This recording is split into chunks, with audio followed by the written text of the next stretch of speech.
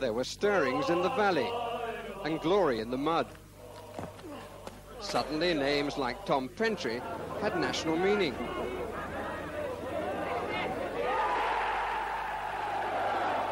They scored against Cardiff, but the boys from the big city managed four in reply.